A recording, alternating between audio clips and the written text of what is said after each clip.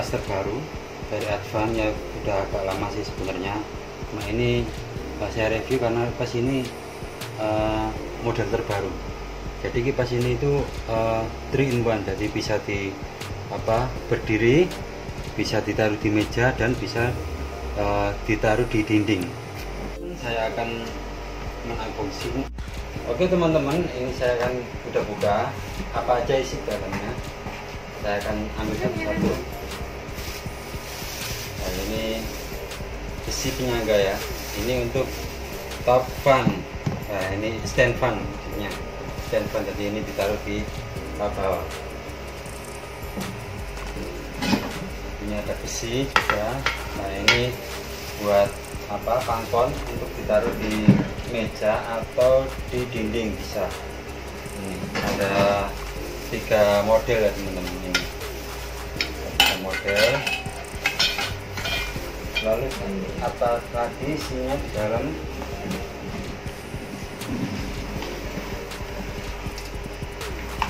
Nah ini.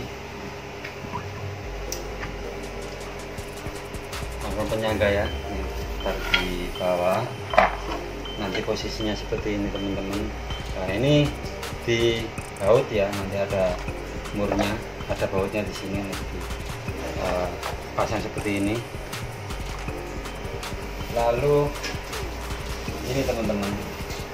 Nah yang menarik di kipas ini adalah baling-balingnya ini model terbaru. Jadi baling-balingnya udah menggunakan besi plat ya. Nah ini bukan lagi plastik ya. Jadi apa lebih kuat tapi resikonya uh, ini berbahaya ya. Kalau posisi lagi on muter jangan sampai apa terkena tangan. Biasanya kan kalau uh, kepasang ini diputar kalau ada anak-anak di rumah itu kan apa suka mainin kipas gitu ya tangannya gitu. Berbahaya teman-teman lebih baik uh, kalau nggak ada penutup covernya seperti ini jangan sampai di uh, on kan ya diputar ya. Nah ini covernya ini besar sekali teman-teman. Dan uh, menariknya apa sih? Kenapa saya beli uh, kipas Advan yang 18 ini nih? Karena ini konsepnya itu pengaitnya itu udah modern. Nggak pakai klem yang apa yang kipas-kipas lama itu. Ini tinggal dibuka gini nanti dikaitkan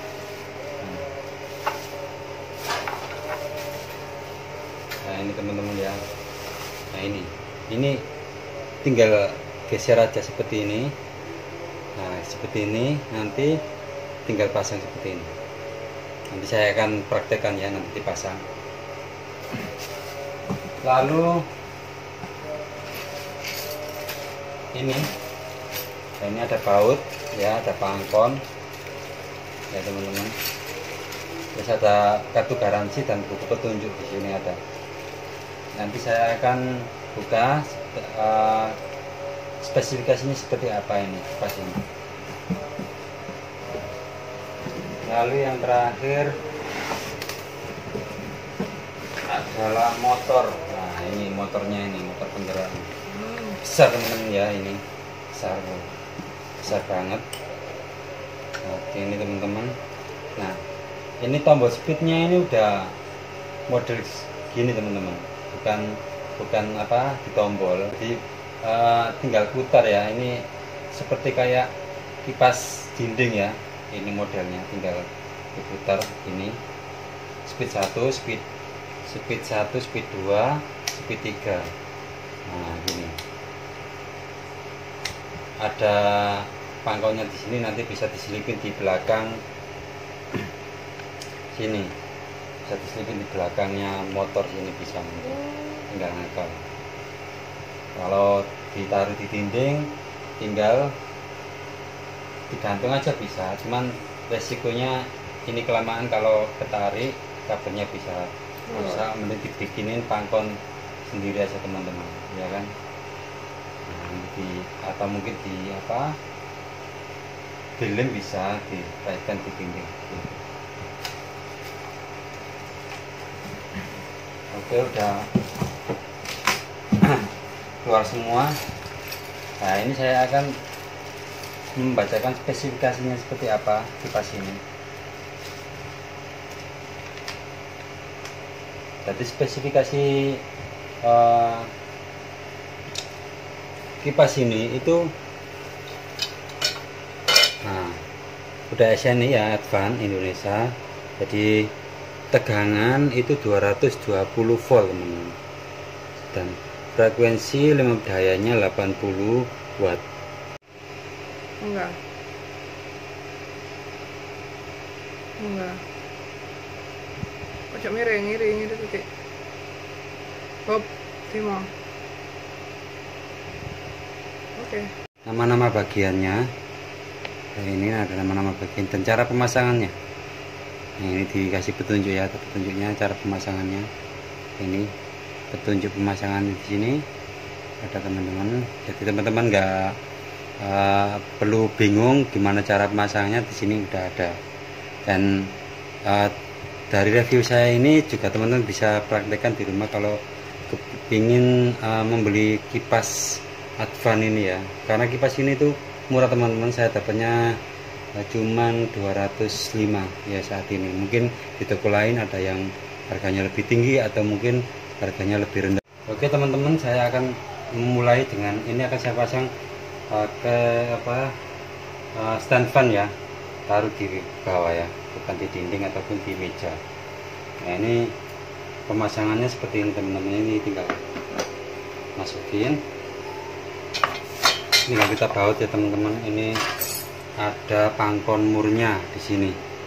Nah, ini ada pangkon murnya tinggal dimasukkan sini. Nah ini ada pangkon murnya yang empat ini ya. Murnya ini bautnya tinggal kita pasang di sini kita pasang, kita pasang di sini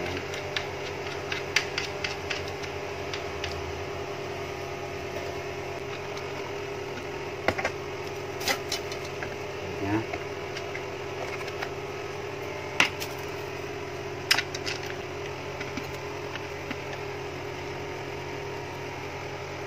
Ini maksudnya nanti kalian sekarang.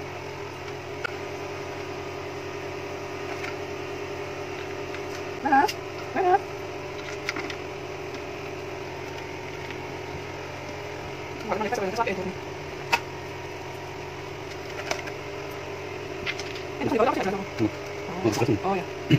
Nah,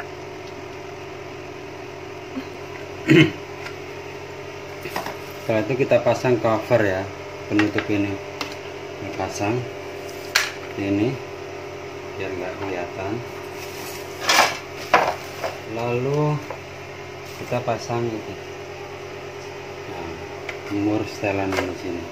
Ini kan ada setelannya teman nah di sini bisa ditarik dipanjangin turunin ya. Nanti setelannya pakai ini.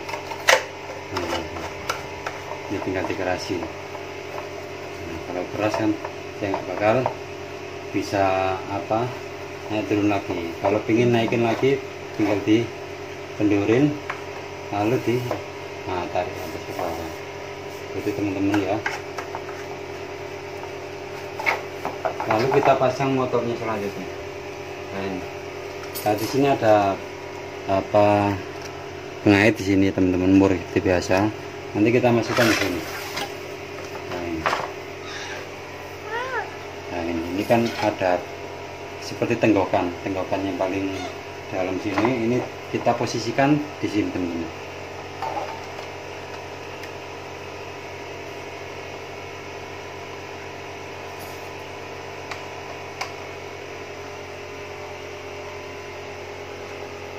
ada bensin coy.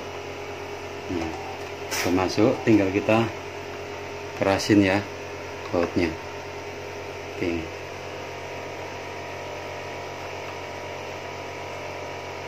Nah, udah kita pasang covernya teman-teman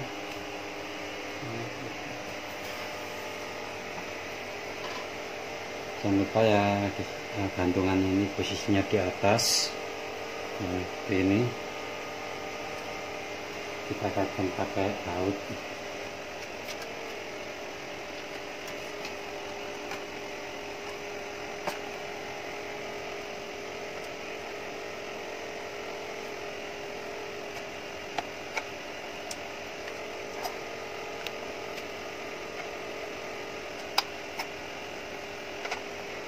Balengnya teman-teman. Nah, di sini ada pengait di sini nah, ini buat yang kancingan teman-teman. Ini buat kancingan nah ini kan warnanya biru. Sebenarnya bisa bisa dilepas. Ini jadi kita bisa pakai warna yang original ini warna seperti ini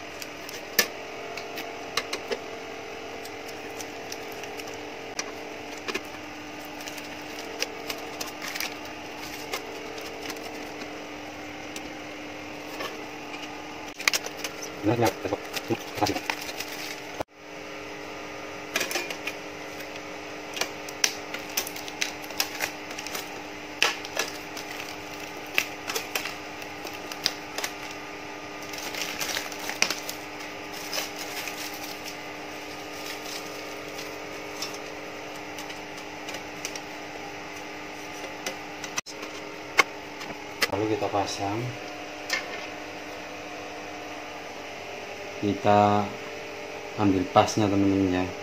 Bautnya pengait ini kita paskan cowakan di sini. Ada cowakan ini. Kita putar kita paskan.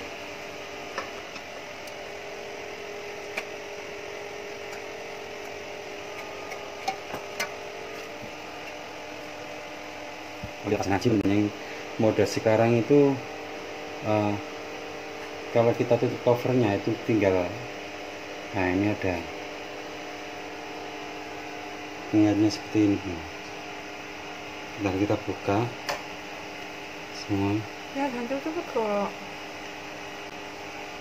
Oh, lalu kita pasang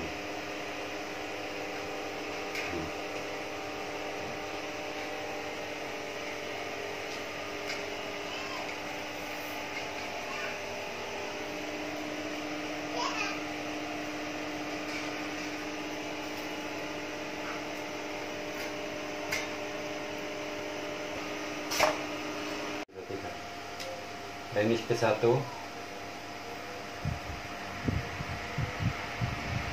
Dengan banter. Ini speed dua lalu ini speed tiga dan pol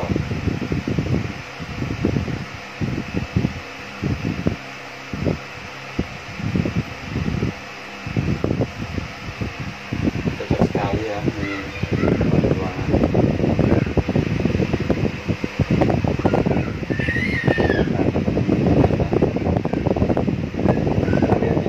jadi teman-teman ya ini bisa di kanan kiri. nah, mode kanan kiri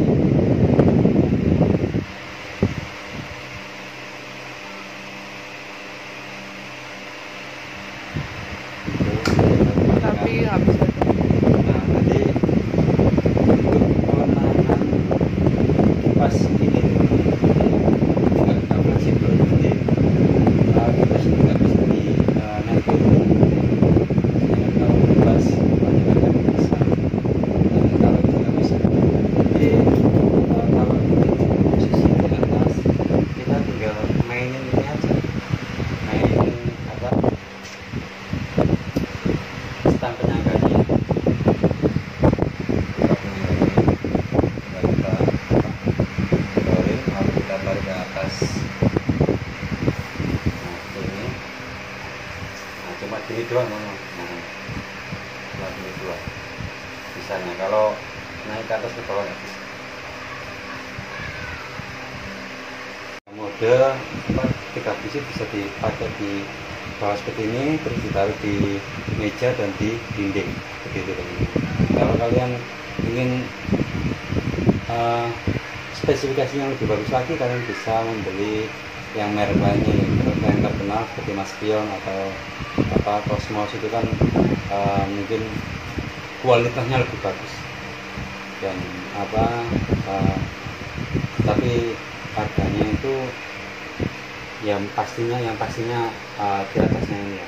Karena ini menurut saya ini paling murah dari yang sekelas spesifikasi seperti ini paling murah harganya nah gitu aja teman-teman. Uh, review un- unboxing yang saya berikan teman-teman. Semoga ini bermanfaat. Jika ini video ini bermanfaat bisa teman-teman like ya. Terus bagikan ya share. Dan tentunya subscribe channel ini supaya channel ini bisa lebih semangat lagi untuk membuatkan uh, video-video selanjutnya yang bisa bermanfaat untuk teman-teman sekalian cukup sekian saya akhiri. Assalamualaikum warahmatullahi wabarakatuh.